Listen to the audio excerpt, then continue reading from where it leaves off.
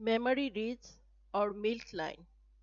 It is a pair of embryonic thickened ectodermal ridges running from the armpit to the groin, along which mammary gland can develop. In human, only one pair of mammary gland typically develop from the milk line in the chest area. The ectoderm of milk line give rise to the epithelial component of the mammary gland including duct and glandular tissue responsible for milk production. The mammary line or milk line formed from the ectoderm around the 4 to 6 week of embryonic development. In human, most of the milk line regress, leaving mammary tissue only in the chest area, which develop breast.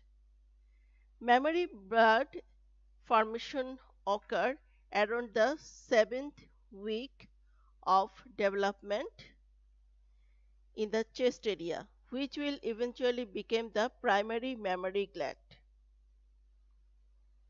The mammary bud grow into the underlying mesenchyme developing duct and lobule.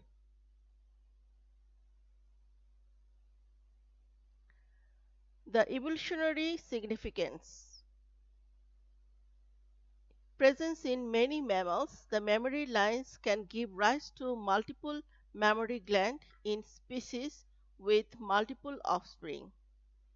Occasionally, extra